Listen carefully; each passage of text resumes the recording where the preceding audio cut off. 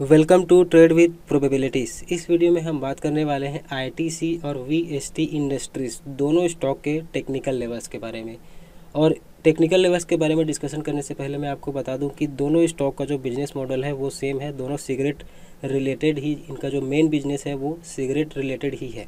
तो इस चीज़ को भी आप नॉलेज के तौर पर रख सकते हैं। और अब चलते हैं सीधे सबसे पहले आईटीसी के चार्ट में। तो आईटीसी के चार्ट में सबसे पहले मैं आपको बताना चाहूँगा कि ये जो लोअर लेवल आप देख रहे हैं यहाँ पर, ये वाली लोअर लेवल 200 199 के करीब का, यहाँ पर हमने आपको बाइंग सजेस्ट किया था। प्रूफ के लिए आप इस वीडियो को जाके देख सकते हैं नेस्ले और आईटीसी इन दोनों स्टॉक को हमने लोअर लेवल्स पे आपको बाइंग के लिए सजेस्ट किया था और यहाँ से किस तरह से स्टॉक ने रैली दी, वो आपके सामने है। तो 200 के लेवल से आईटीसी का जो हाई लगा वो यहाँ पर आप देख सकते हैं टू वन सेवन और उसके बाद इसमें फिर से एक रिट्रेसमेंट लगी हुई है और अब इस रिट्रेसमेंट में, क्योंकि आई एक ऐसा स्टॉक है जिसमें मैक्सिमम लोगों की लोगों की पोजीशन फंसी हुई रहती है, इसलिए आई में अभी प्राइस लेवल जो है वो दूर के है बट हम यहाँ पर उसे डिस्कस कर दिए रहते हैं क्योंकि next week Monday to Friday अगर इसमें कोई बड़ी मूवमेंट होती है, चाहे वो डाउन साइड हो, चाहे वो अप साइड की हो तो आपको इसका बेनिफिट मिल सकता है। तो इसमें जो क्लोजिंग है आई में, फिर से ये आप देख सकते हैं कि टू वन सेवन का हाई लगा के रिट्रेसमेंट किया है और जो क्लोजिंग है वो two zero nine point zero five की है। तो आने वाले ट्रेडिंग सेशन में आपको इसमें वेट एंड वॉच की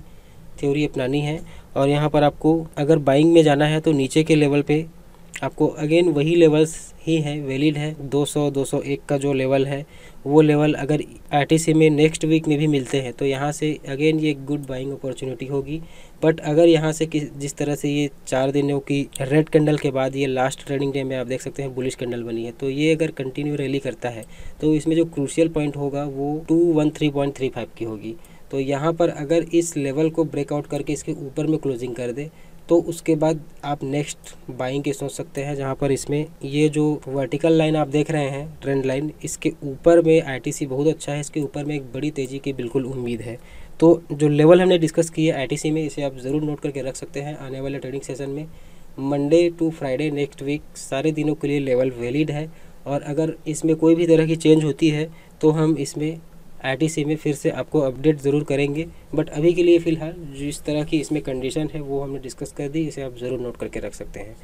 और अब इसके बाद नेक्स्ट चलते हैं वी एस टी इंडस्ट्रीज़ ये भी सेम सिगरेट रिलेटेड बिज़नेस ही करता है और इसमें आईटीसी की तरह ही इसमें आप देख सकते हैं कि जैसा कि आईटीसी ये वर्टिकल लाइन के अंदर में ही ट्रेवल कर रहा है बट वीएसटी में ऐसा नहीं है। वीएसटी इंडस्ट्रीज़ आप देख सकते हैं, एक बार इसके ऊपर निकलने की कोशिश की थी यहाँ पर बट वो क्लोजिंग नहीं दे पाया और क्लोजिंग जो है वो अगेन इस ट्रेंड लाइन के अंडर में जाके हो गई। बट अभी ऐसा नहीं है, इसके आप देख सकते हैं कि फिर से जो स्लो स्लो रैली हो रही है और लास्ट डे भी जो रैली हुई, वो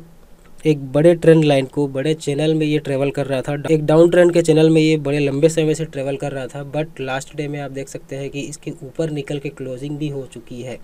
तो ये क्लोजिंग हो चुकी, इसीलिए ये बहुत ही इंपॉर्टेंट रहता है कि ऊपर में क्लोजिंग होना है। तो थ्री टू नाइन सिक्स की इसकी क्लोजिंग है। आने वाले ट्रेडिंग सेशन में अगर मार्केट में थोड़ा सा भी अगर पैनिक सेलिंग दिखी तो ये हो सकता है कि आपको रीटेस्ट होता हुआ दिख सकता है और 3240 या फिर 3230 3220 तक के लेवल्स भी आपको देखने को मिल सकते हैं। अगर मार्केट में पैनिक सेलिंग हुई तो तो ये जो अगर पैनिक सेलिंग होगी और ये अगर नीचे की तौर, नीचे की लेवल्स पे अगर आपको मिलेगा तो वीएसटी में एक अच्छी एंट्री मिल सकती है आपको और ये एज अ बाइंग अपॉर्चुनिटी आप इसे यूज़ कर सकते हैं। और यहाँ पर आपको क्वांटिटी थोड़ा सा ऐड करना है, क्योंकि आप देख सकते हैं कि इसमें जो बड़ा लेवल है, वो इकतीस सौ पैंसठ, इकतीस सौ सत्तर करीब का था, जहाँ से स्टॉक ने रिटर्न भी लिया। और अगेन थोड़ा सा अगर रिट्रेसमेंट होता है तो वो भी एक गुड बाइंग अपॉर्चुनिटी होगी।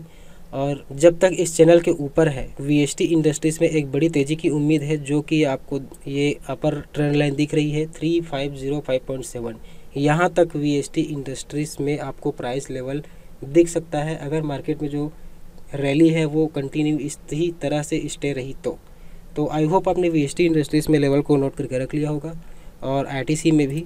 तो दोनों स्टॉक में जो लेवल है बहुत इंपॉर्टेंट है। VST industries already buying opportunity की तरफ़ बढ़ रहा है जहाँ पर अगर ये रैली कंटिन्यू रही तो ये इसमें जो आप टारगेट के, तौर पे यूज़ कर सकते हैं वो three five zero five point seven का लेवल है। और अगर थोड़ा सा भी रिट्रेसमेंट होता है तो वो भी एक गुड बाइंग अपॉर्चुनिटी होगी, उसे भी आप एडिंग करने के लिए यूज़ कर सकते हैं। तो आई होप आपने लेवल्स को नोट करके रख लिया होगा, और इस तरह के एडवांस में जो लेवल्स है, वो हम लगातार डिस्कस करते रहते हैं अलग अलग स्टॉक में टाइमली तो इसका बेनिफिट लेने के लिए चैनल को ज़रूर सब्सक्राइब करके रख सकते हैं।